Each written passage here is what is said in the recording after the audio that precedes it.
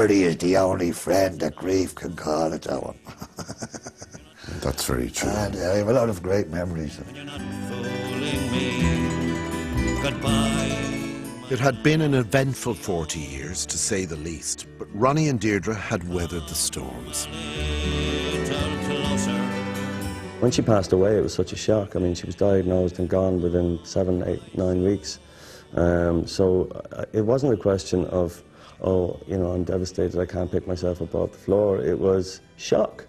And then, you know, it takes quite a while to come through that shock. And then you're faced with the, uh, the appalling kind of uh, wasteland in front of you and how to pick up the pieces.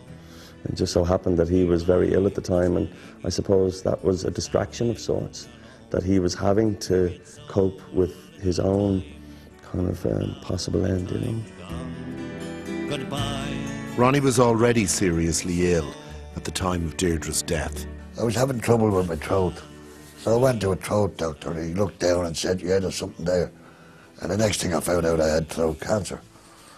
And uh, What were you stoic about that as well? no, I wasn't stoic. You know, first is terror, then fright, then kind of acceptance, you know. And what did you what did you say to yourself? This is it. Well, shag it. I've had it now. Yeah, oh yeah, yeah. I mean, I thought this is it, you know what I mean? But then I am 73, so uh, I, I, I'd like to make the 80. But if I, if I don't, I don't. And then, of course, you lose the barnet and the Oh, beard, yeah. and I've never seen you in your togs, so I can't comment on the rest of it. Um, what, did you care about that? I did actually. I felt very self-conscious. Yeah, yeah. I, I felt very self-conscious because I've been so used to having a beard and hair for like all those years. You know. So You're like a gremlin, the lot of you. You know. So that, you know, I, I really did. I felt, you know, I felt quite, you know, very vulnerable. Yeah, yeah. You know. But you've got a look of a sort. You've sort of an East End gangster sort of a thing going on now. it's a different look. A different look. Yeah, very much a different look. Here's to you, Ronnie Do. And as usual, the drinks are on Ronnie. Some of Ireland's leading musicians decided that they wanted to pay a special tribute to Ronnie's life and career. Here's to the Ronnie, the voice we adore, like coals from a coal bucket, scraping the floor. Sing out his praises in music and malt. And if you're not Irish, that isn't your fault. Ballad of Ronnie Drew was supposed to be a song for Ronnie Drew to sing. Like dogs in a pack, thankful for The composer of the tribute song got confused by the message on his answering machine. these we got 'em by one. And he got he misheard the message uh, on on his answering machine, and he thought it was write a song about Ronnie Drew rather than write a song for Ronnie Drew. So then he sent back a song about Ronnie Drew, and we thought, well, uh, that's not what we were looking for. We wanted a song for Ronnie Drew to sing.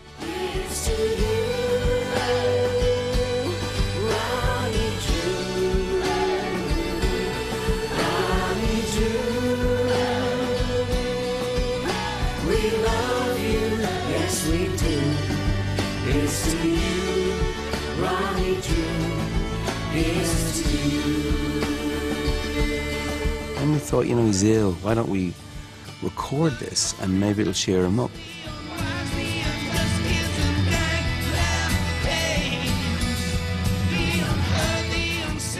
The Ballad of Ronnie Drew was eventually performed in front of Ronnie on The Late Late Show.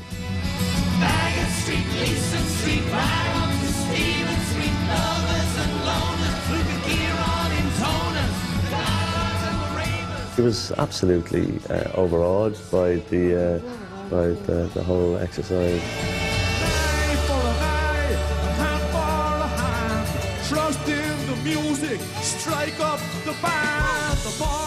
Once again, the range of Ronnie's appeal was evident by those who wished to pay tribute to him. His fundamental credibility as an artist and as an individual has remained intact with new generations of Irish musicians. A statue.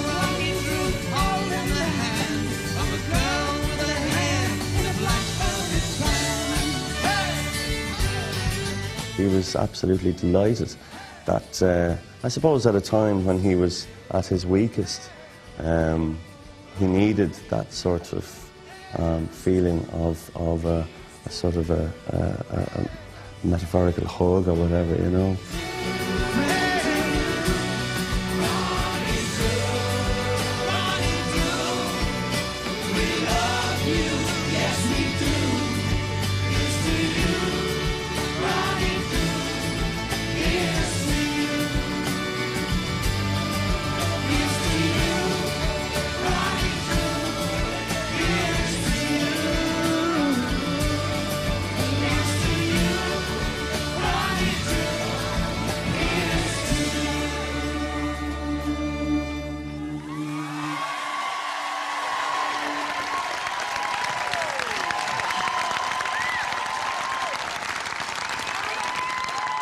I'm really knocked down and I'm so honoured and so gratified.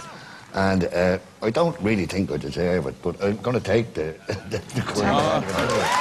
There are many different strands of music in Ireland today, and most of them were there that night for Ronnie Drew. Ronnie died on the 10th of August 2008.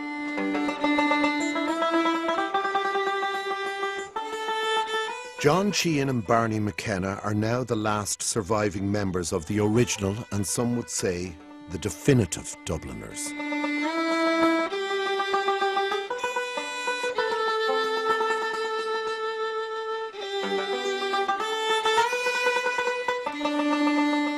What's the last thing you said to him, Shane? Something like, uh, you know, best I don't really see you later, you know, you know. And, you know, I don't know, still get full or something.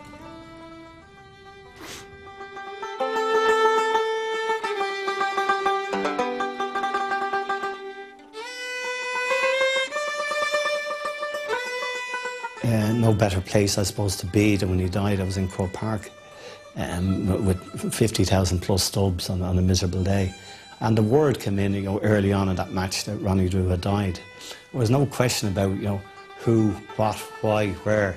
I mean, everybody was, oh, sorry, Ronnie Drew was dead. Everybody knew him.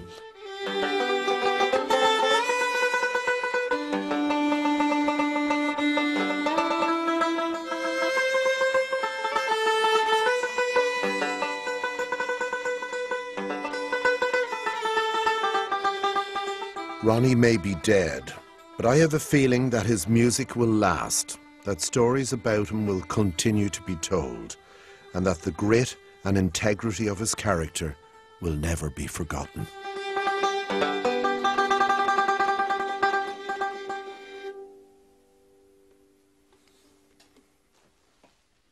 We spoke amongst ourselves in the office about things that you've done and things that you've spoken and said and sung that have moved us.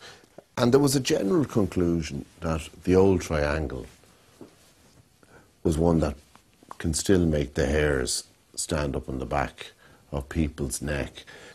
Can you remember the words? Oh, I can, yeah.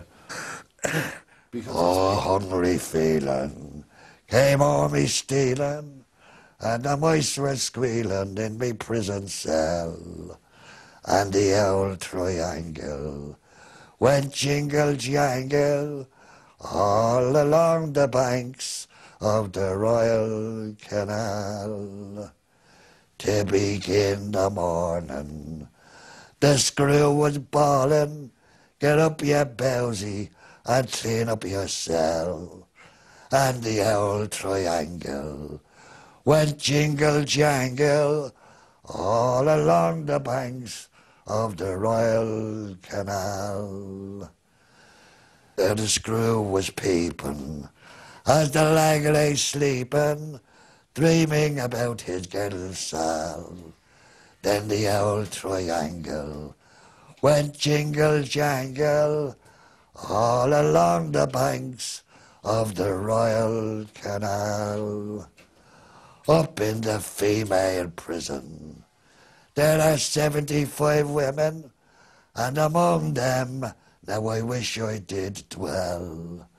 Then that old triangle could go jingle jangle all along the banks of the Royal Canal. All along the banks of the Royal Canal. Afraid the voice is a bit ropey, but there you are.